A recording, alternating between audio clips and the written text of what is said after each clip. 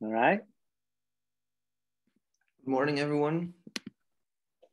Can you see my presentation? Yes, Marco, we can see it. Well, should we start? Yeah, take it away. Okay. Good morning, everybody. Here is Marco Sangrador, and with the help of Victor, Dr. Alcocer, we're going to present this case of a clival lesion. We present the case of a 27-year-old woman who initiated her symptoms one year prior to her admission to her hospital with uh, episodic holocranial headache, which was initially treated as a migraine with no adequate remission of, of the symptoms. However, after nine months of treatment, the headache was worse and not responding to mild analgesics. As past med medical history, she presented in 2016 with a multinodular goiter, which was treated with a thyroid biopsy but no diagnosis and proper follow-up was performed.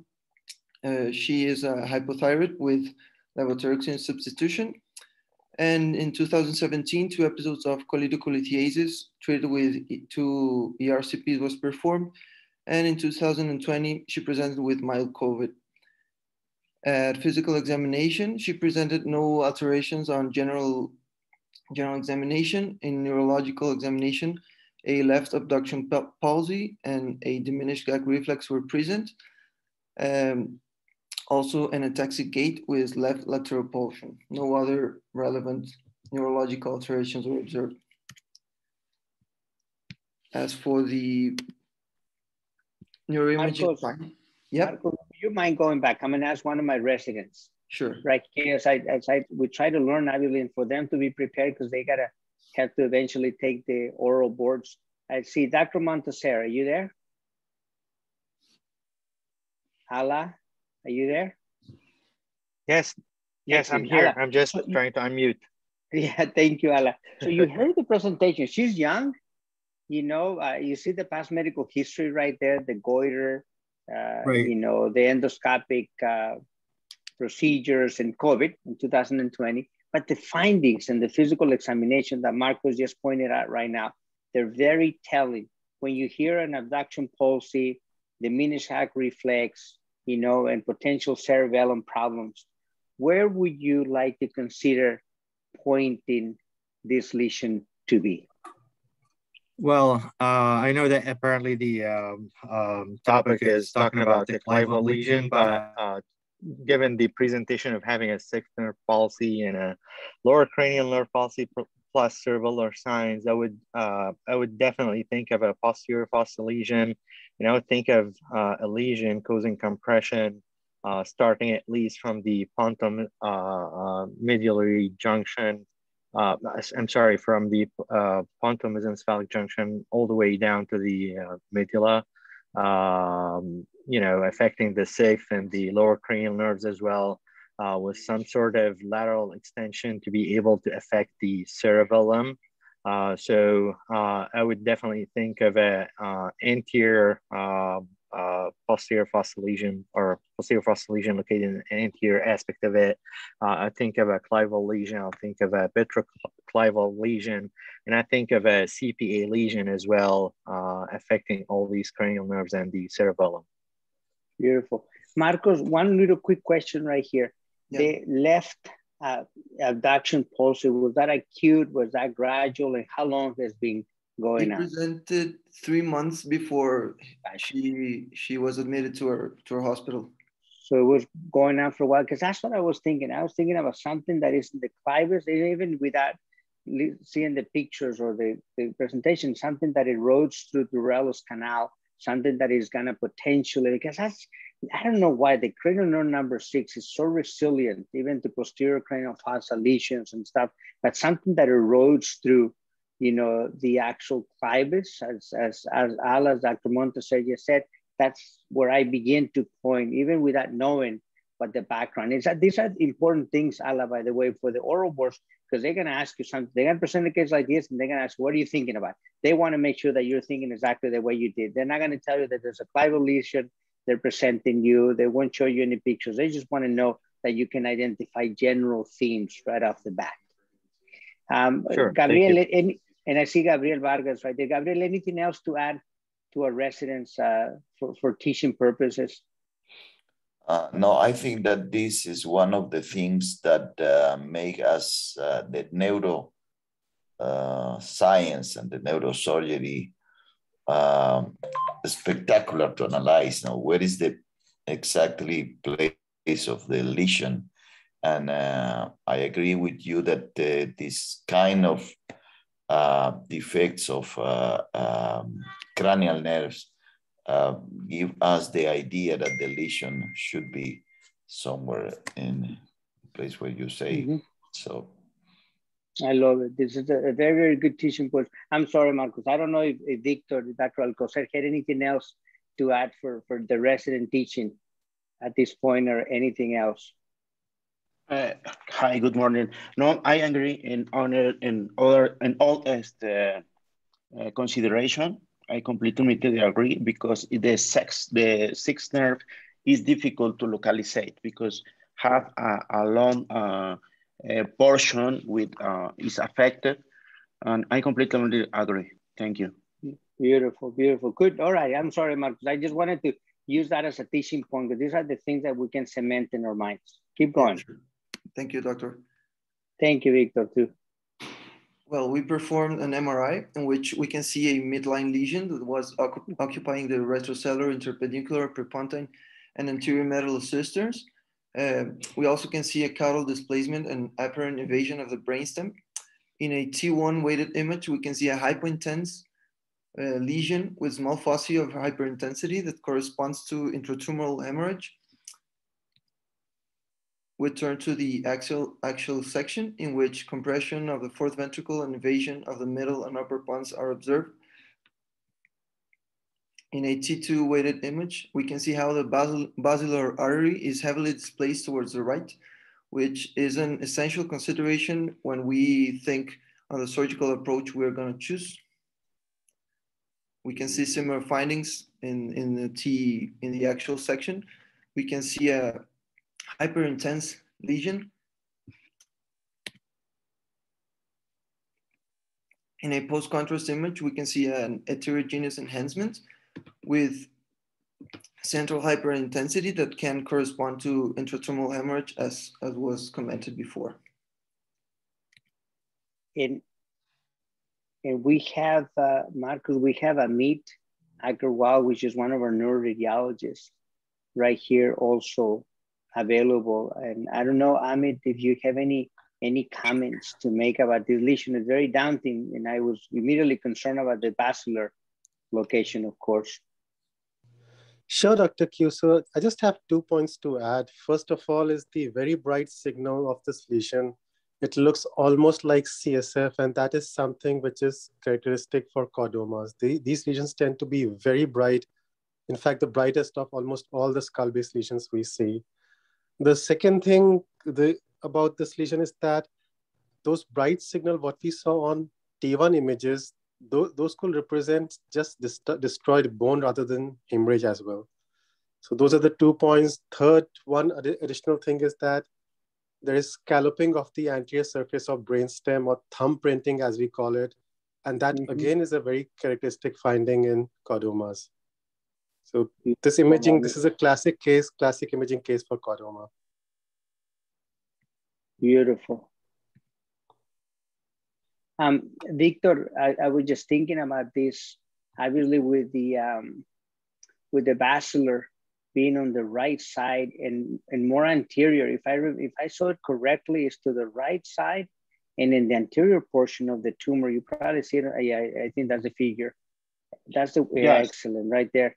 So I was I immediately, of course, I always teach the residents the danger zones, you know, that where you got to be careful and not get into a perforator or or a branch or, or something like that. Any any thoughts, any teaching points for our residents as you're thinking surgically about this? Uh, I think the most important uh, uh, in this this uh, uh, situation or this uh, tumor is the the the portion the the osseous portion is completely intact. Only mm. have a, a small portion in in the in the superoclival and in uh, indentation, uh, in the see the, the indentation, the, the clivus. And the other uh, lesion is completely intradural uh, uh situation. Uh, of course, the, the, the basilar is completely uh, invited in the superior portion of the, of the tumor, it, specifically in the, in the tip, the, the basilar. And of course, the, the, the, is the, uh, the, the basal is involved, but in the inferior portion, I think have a, a good uh, uh, plane of the dissection.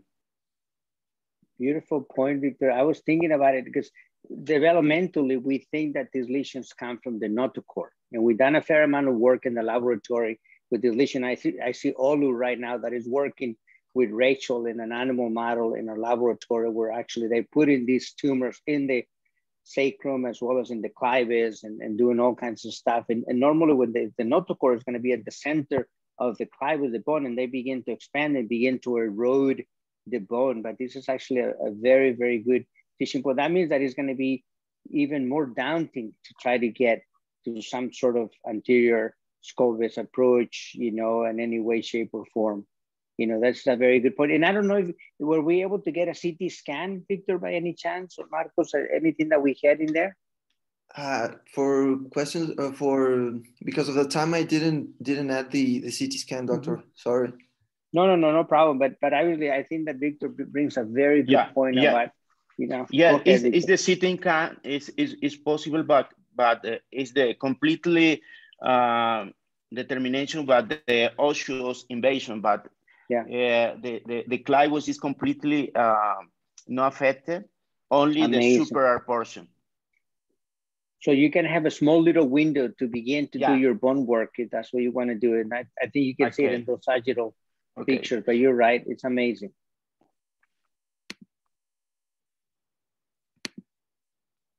We also show a tractography in which we can see the corticospinal tract, which is caudally displaced behind the mm-hmm. tumor. Uh, as we can see, the patient has no, no motor deficit. Amazing.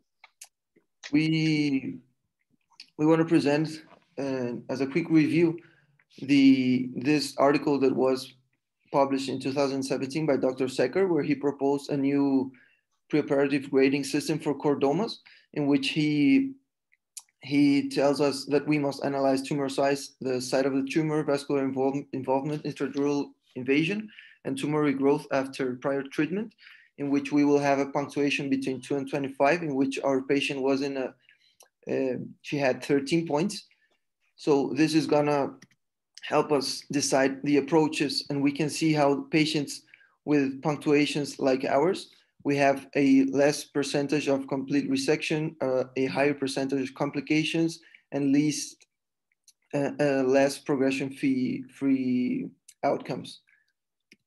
And in some reports, well, most of the reports we found that reported brainstem and intradural invasion, we can see that uh, a complete resection of these lesions is impossible due to the high risk of, of uh, irreversible neurological deficit. So I'm going to present a quick review, a quick, a quick anatomic review. We must remember that the clivus is a portion of the, of the skull base that is formed by the sphenoid and the, and the occipital bone. The limits are in its upper side, the posterior incliner process and the dorsum sellae, inferiorly, the anterior border of the foramen magnum, and laterally, we have the petroclival fissure. We can divide the clivus in, an, in the cranial perspective in the upper clivus that goes from the posterior incliner processes to the Dorellos canal. After that, the middle clivus from the Dorellos canal to the glossopharyngeal meatus located in the jugular, jugular foramen. And the lower clivus goes from the glossopharyngeal meatus to the anterior border of the foramen, foramen magnum. And from an extracranial or endoscopic perspective, we're going to have the, the same divisions, the upper, middle, and lower clivus, which go from the anterior fossa floor to the sphenoid fossa, to the sellar floor, then from the sellar floor to the uh, floor of the sphenoid, sphenoid sinus, and from the choanate to the anterior border of the foramen magnum. Well, we decided to perform an endonasal endoscopic approach. We placed the patient in a supine position with a slight head deflection of 15 degrees to the right. We performed neurophysiological monitoring from cranial nerves 3 to 12, and neuronavigation was also performed in this case. Can I can I mention something I saw that beautiful? You go back to that picture. That's something that I teach the residents um, for these cases as to why I also prefer to pin them. You can see a little bit of deviation. So you're working on the patient. You're probably standing on the right side. You probably have someone else working with you. You tilted the head a little bit, you know, towards the patient's left, looking up a little bit and elevated the head so that way you allow gravity also to drip the blood a little bit and to be able to come in at a very comfortable angle with the endoscope. That's a beautiful position. I try to teach the residents a little bit about that position, comfortable for the patient, comfortable for the surgeon, just in case if you're gonna be there for hours of hours. If the patient is looking up straight, you know, and the surgeon is like this, after four or five hours, your back begins to kill you and it's not very comfortable. also much more difficult to have four hands working. So I just wanna make sure that I comment on that beautiful position, just the head, because that's where the surgery starts. So the surgery started a long time ago when you guys begin to plan, but in the operating room physically, it starts with an excellent positioning right there. Okay. Uh, Victor, sorry. Yeah, go ahead, Victor. Yeah. I figured. Okay. Yeah, go ahead. And another uh, consideration is about the the level of the uh, situation of the lesion, because in, in the in the in the um, anterior skull base, we need uh, extension mm -hmm. and is in the in the lower clival is flexion. Yeah, beautiful. Well, I'm gonna present the surgical video. We started the nasal phase with local installation of epinephrine in the nasal septal mucosa. After that, a left middle turbinectomy in order to achieve a wider surgical corridor was performed. We then grafted a pediculated nasoseptal flap which was stored instead of the choana, we stored it in the maxillar sinus as the middle clivus must be free of any obstruction in order to perform the, the drilling. We performed, uh, we identified the sphenoid, sphenoid rostrum and the ostia and drilling of the anterior sphenoid floor was performed. We can see here the posterior septectomy is completed and the neuronavigation of the sphenoid, sphenoid sinus we started drilling along all the, the sphenoid sinus, the nasopharyngeal mucosa and fascia were dissected free in order to achieve a proper visualization of the middle and lower clivus. I'm gonna jump a little bit further. And, and I wanna comment right here. The other thing is a beautiful two millimeter diamond drill bit that allows you to do beautiful hemostasis. I love that drill. And Sometimes they, in, in our uh, country, they like to use the Sonopet. I, am not quite sure I am a big fan of the Sonopet. You can control the same amount of hemostasis like you do right there. You see the white, I mean, it allows you to control hemostasis, better control your drilling. And that diamond drill bit rarely is gonna injure the dura if unless you plunge vigorously. Victor, anything to comment about this technique of your drill right there? Oh, in Mexico, is este, only possible with a diamond uh, este, mm -hmm. drill. We gotcha. don't have a, a, a sonopet or mm -hmm. other mm -hmm. uh, device for the remove bond. I love it. It's beautiful. Uh, once we resected the sphenoid, the, the sellar floor, we started drilling the clival recess. We drilled laterally in order to achieve control of the paraclival and the parasellar ICA. You can see here how we are drilling in the lateral portion of the clival recess. We performed a clivectomy until the clival dura was observed. We can see how Kerrison rongeurs helped us retire, uh, to take off all the, of the bone that was obstructing our view toward the dura. We can see here how the, the the paraclival carotid has been mobilized and further drilling is being performed. One of the most important steps in this, in the, the approach that we want to show you is that we performed a posterior clinoidal, uh, uh, posterior clinoidectomy, sorry. We started this by opening the medial wall of the cavernous sinus making a sharp cut between the pituitary gland and the ICA. We can see here how the par par ligaments are a key landmark that must be identified and cut in order to achieve a proper access to the posterior clinoids. We can see here how dissection is being made through the cavernous sinus. as a left transcavernous approach and the left clinoid, posterior clinoid is being resected. And after that, the right posterior clinoid is being resected. We perform this in order to achieve access to the interpeduncular and retroinfundibular portion of the tumor. Here we started debulking the portion of the tumor that was located in the middle clivus. A dural opening was already performed. We can see a firm consistency tumor that was resected with ring curettes and uh, ultrasonic aspirator. We found a very hard tumor that was very adhered to the brainstem, as we can see here. The most anterior portions of the tumor were kind of easily resected, but there has to be quite a blunt dissection in the most posterior part in order to protect the brainstem. And, and Marcos and Victor, quick question right. I love the dissection. It's absolutely stunning. I don't know if people realize. Two quick questions. Tell the audience right here, how long did it take you to make sure that you drill all this and you carefully dissected the posterior clinos? Because of course you present the abbreviated version, but I want people to understand this is a very patient type of work that is very meticulous.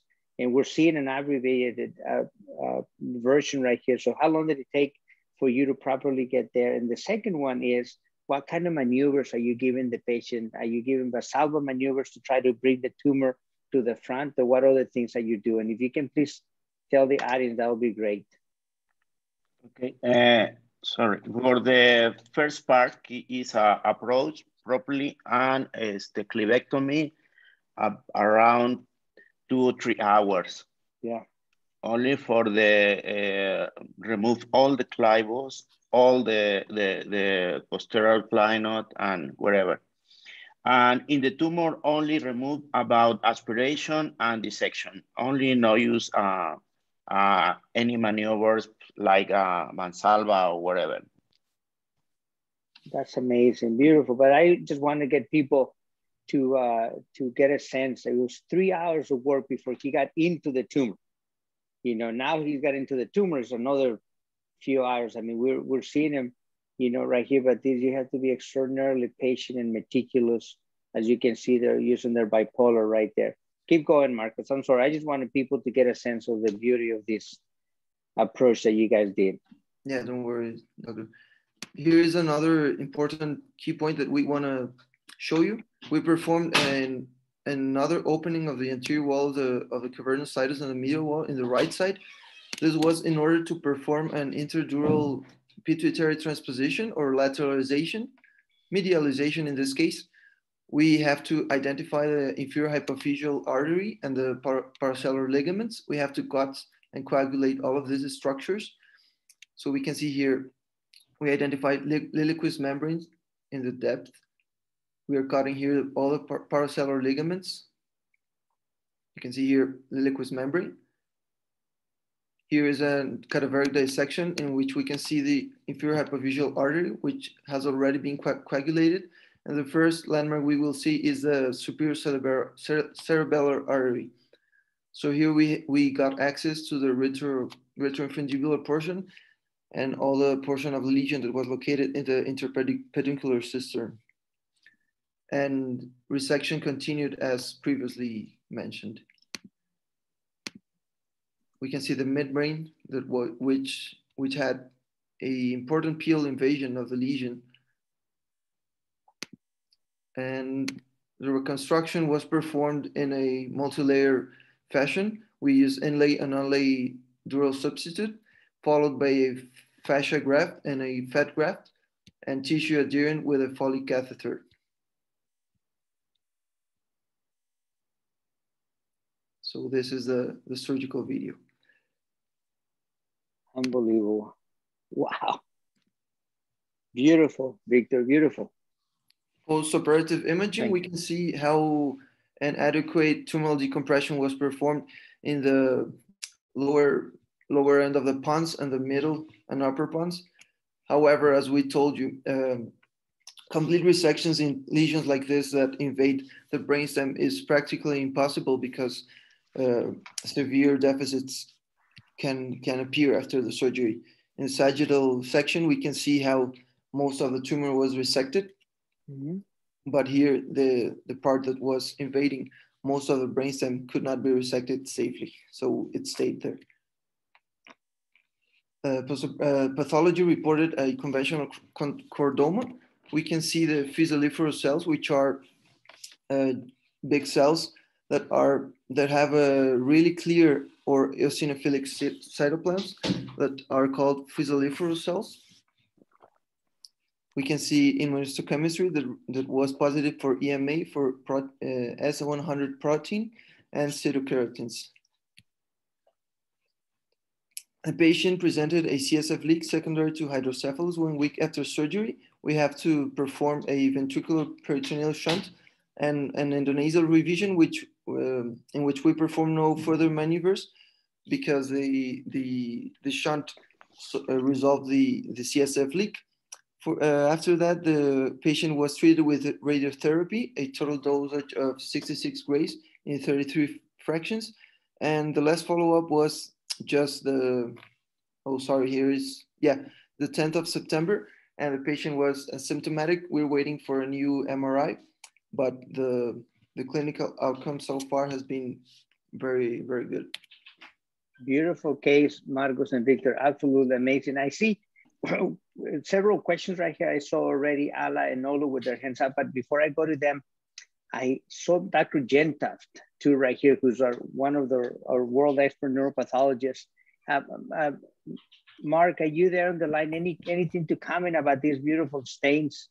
No, Any uh, point for our residents. Actually, very good. Um, the one thing I would comment if you go to the stains, a lot of people know the buzzword brachyury and think that if without a brachyury that you need a brachyury stain. You really don't. The brachyury stain is positive in these. It's supportive. It's specific. But really, on all of them, if they're S100 and EMA positive, you're you're done. Or if it's uh, S100 and keratin positive, you're also basically done. The main thing you want to separate it out from uh, pathologically would be a um, chondrosarcoma and those will be S100 positive, but they won't have keratin or EMA. Another lesion that can look like this is a chordoid meningioma, which will be EMA positive but negative for keratin and S100. So though um, brachyury can help, it is it's not necessary. And the staining on this was absolutely beautiful as well as the histology.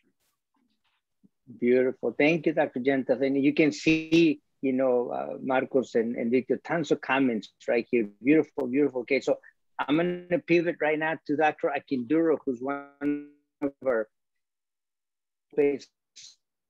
uh, surgeons and clinical scientists who's got a grant funded for you may be muted, Olu, or you're frozen. Yeah, there you go. We yeah. hear you now.